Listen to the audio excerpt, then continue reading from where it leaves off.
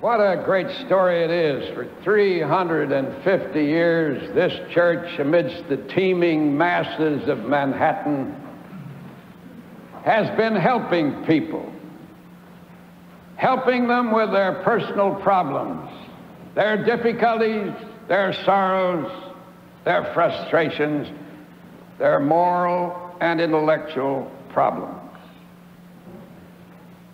One human problem which has impressed me greatly of late is the prevailing incidence of a lack of self-confidence. Despite aggressive signs to the contrary, it seems that a vast number of people are plagued by feelings of inferiority, inadequacy, and self-doubt. Surely the gospel has something to say about this. And I find that this situation is not only a matter here in New York City, but it seems to prevail everywhere in the world. A few weeks ago in Hong Kong, Mrs. Peale and I were entertained at dinner by the staff of our guidepost kindergarten in Mei Foo, where some 85,000 people have moved into a magnificent new housing development. At this delicious Chinese dinner, I was seated beside the one girl of the staff of 22 who was able to speak English. But I found that her English was so mixed up with Chinese that it was quite difficult to understand her. But she turned out to be a lovely girl. But she had a plaintive quality about her. She said, You know, sir, I hope that sometime I can get to believing that I can handle life. I feel so inept, and I wish that you would pray for me, that I would have self confidence. And I assured her that I would.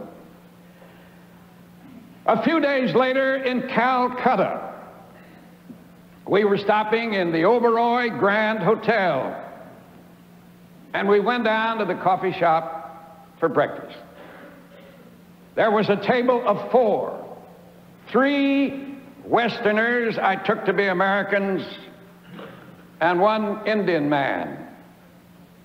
I noticed them talking among themselves, and finally the Indian man came over to me and addressed me in that gracious way that only the Indian people can affect, where the hands are brought together in a, such a, a loving attitude and he bowed graciously and said he was glad to meet me.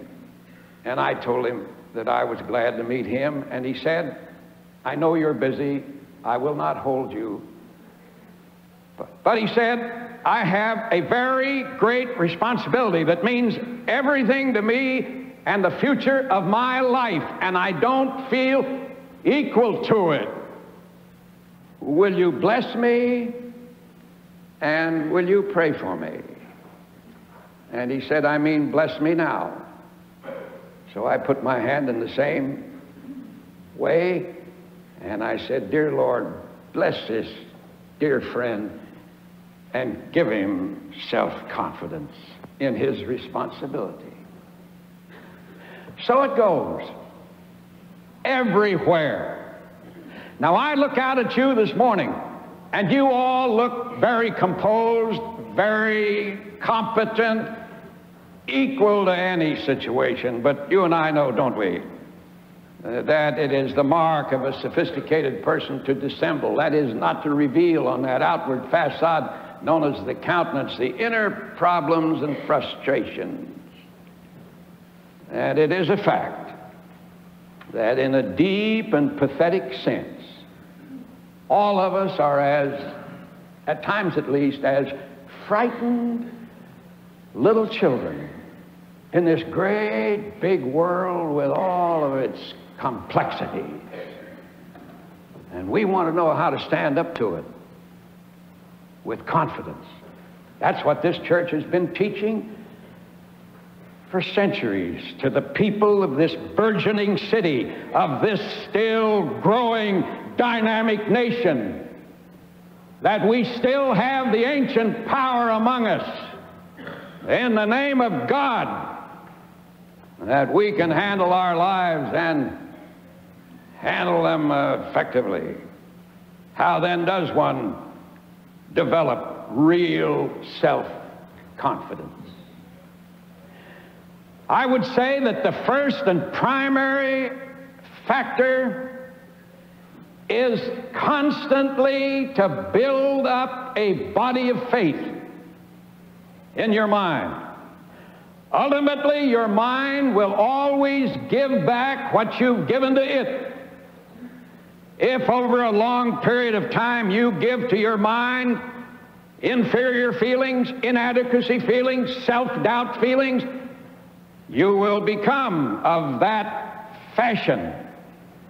But if constantly, on the contrary, you read the Bible, you go to church, you associate with spiritual people, you think spiritually, you pray in depth, you will finally build up into your mind such a power of faith that no matter what crisis may develop, you will be equal to it. And don't you think that crisis will not come to you. We know not the day or the hour, says the Bible. Ah, you could go even further and say, we know not the minute when some tremendous, overpowering challenge of crisis may come to you. The question is then whether this faith has been built up to such an extent that you have the inner power to meet it and the inner spiritual perceptiveness and wisdom to handle it. For example, there's a friend of ours, a writer, in one of our magazines who is a buyer in the New York market. She buys for a store, I believe, in Denver, Colorado. And on one of her buying trips to New York, she learned that one of her old schoolmates was living uptown somewhere in the Columbia University section. So she called her up and asked her to come down and have dinner, go to a theater, and have a nice evening together. Apparently, there are a couple of talkative ladies because after the theater was over, they hadn't finished their conversation. They went into a night, all night restaurant in the Times Square district to continue their chattering conversation. Presently, to their astonishment, they noticed that the hour was 2 a.m. It required now the girl from uptown to get back to her place up near Columbia University. Phyllis, the girl from Denver, suggested that that hour of the night she should take a taxi because it wouldn't be safe to be on the streets alone. She said, Oh no, the subway goes right by my house. It's only a step, and I'll take the subway. Will you see me to the subway station? So the two girls went to the subway station. They went down inside, and trains are irregular at that hour of the night. There were a very few people in the lonely station. And finally, the train came along. The one girl got on. They waved at each other. The doors closed. The train disappeared into the tunnel. And now Phyllis was alone in this station where suddenly she realized there was not a single human being. A tremor of anxiety crossed her mind. But she said, This is in the middle of civilized New York City. I'll be all right. And she headed for the gate, only to find that five obviously very tough boys emerged from uh, the shadows. And they lined up between her and the gate. And one of them with a sneer said, uh, You're out pretty late tonight, aren't you, baby? And another one said, Would you like a little company, sister? She froze. She thought of her husband at home with her two little children. She thought, I'll run. But she knew that they would catch her. She said, I will fight them. But she knew that she would have no chance whatsoever with five muscular looking tough boys. She said, I will scream. But then she realized that her screams would go unheard in the loneliness of the station. There she stood. And then a thought came to her. A thought out of this book. A thought out of the book you gave me, which says, I will be a shield and buckler to them that walk uprightly. You see, it came out of her consciousness in which she had put faith for all these years. And she said, That's it. I will walk tall, like it says. And she proceeded, and then she heard a voice which she recognized finally, strangely, as her own voice. And with firmness, it said, Let me pass, please. Let me pass. She proceeded further towards the boys who were unmoved. And again, let me pass, please. Let me pass. The boys on either end looked at the boy in the middle, who was obviously the leader. He gave way. She passed through, walking her full height of five foot six. And as she passed by, one boy with more perceptiveness perhaps than the others said, That's it. Walk tall, lady, walk tall. And she did walk tall till she got to the stairs and then she ran. Fell down on her bed in her hotel room and thanked the good Lord for her deliverance. And well, she should thank him because in a crisis, this lonely girl had put such a body of faith in her mind that it overcame the cynicism of five street toughs who would have perhaps destroyed her life forever. You see, that is what the church has been teaching over all the years that life is tough, it's difficult, it's intricate, it's complex. Its onslaughts can overwhelm you, but not if you have a body of faith built up in your mind. In this, says the Psalms, I will be confident. Of course, a lack of confidence always indicates the presence of fear. Fear, says a distinguished New England psychologist, is the most destructive element known to mankind. Worry has been pictured by ancient hieroglyphics in Britain, which were recently discovered, as a great gigantic wolf sinking his long teeth into your neck.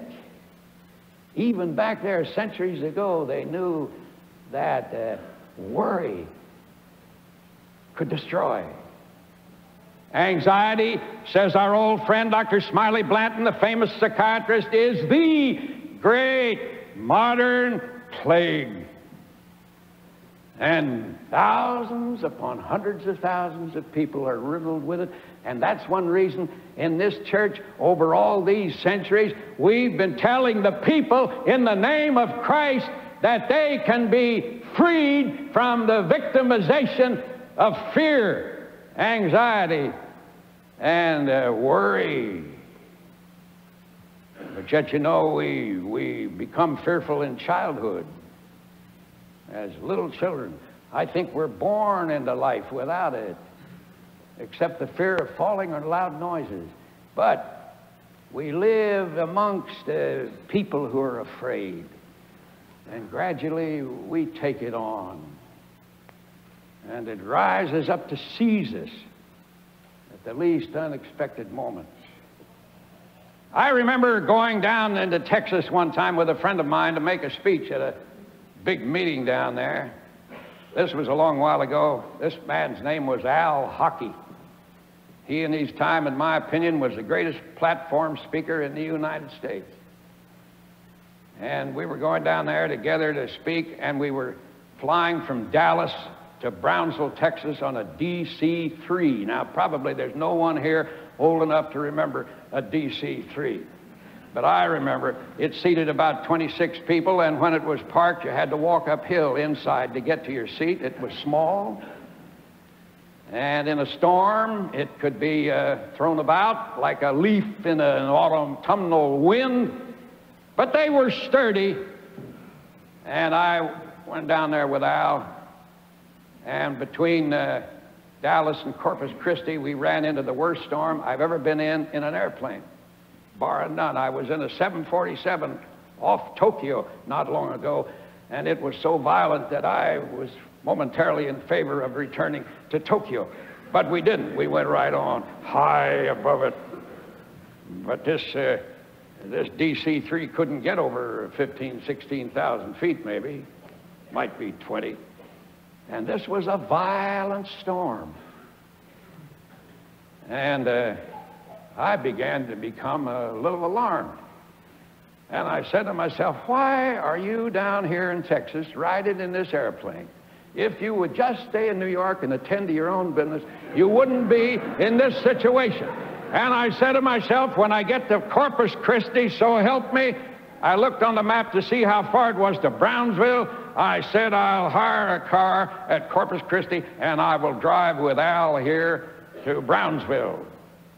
And I looked at Al, and his face was alternately white and green. so we finally made it to Corpus Christi. And I was about to take it up with Al that we take a car, and he said, Norman, uh, you know, if it wasn't that uh, we'd be a couple of cowards, I'd suggest we drive in a car to Brownsville. I said, Al, I am ashamed of you. he said, I know I'm ashamed of myself. I said, uh, maybe they won't go. Maybe they'll cancel the flight. Just then they called the flight. I looked at Al, and Al looked at me. He said, Well, the Lord's watching over us. Let's go. We got back on the plane, and a man tapped me on the shoulder.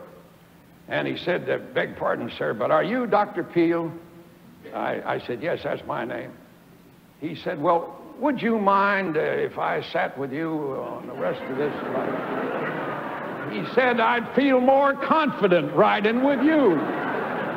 I said, that's okay by me, but you don't know what a slender reed you're leaning against.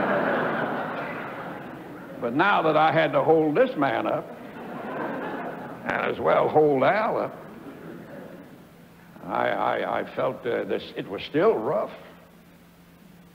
But you know, the mind had uh, smoothed out.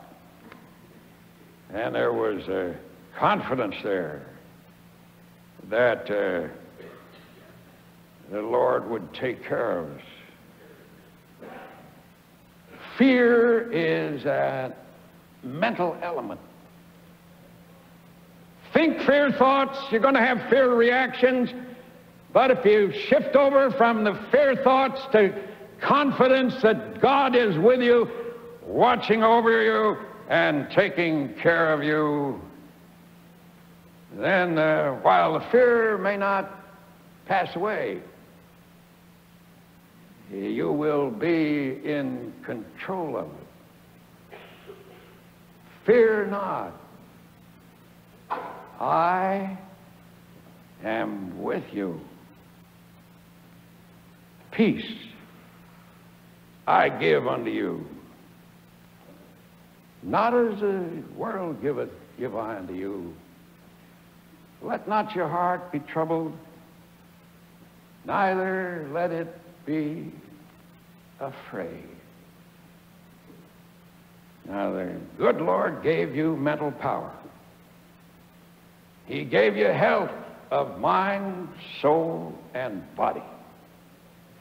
He meant that you would be able to walk through life unafraid. And that by so doing, you would handle life victoriously. So the first thing is to build up a body of faith. And the second thing is to deal with the matter of fear so that you stand up to it, knowing that if you do, you are greater than it is. Emerson, who was perhaps the greatest thinker in many respects who ever lived in the United States, says, Do the thing you fear, and the death of fear is certain. Finally, self-confidence comes by a revision of personality, whereby self-doubt and fear are brought under subjection. Always through all the history of this church and others all up and down this street and down this land, the gospel has been preached and is still being preached that the secret of life is to have your life changed, whereby you are no longer victimized by the weaknesses of the flesh or the weaknesses of the mind, but you are controlled by the power of the Savior. And he's well named by being called Savior.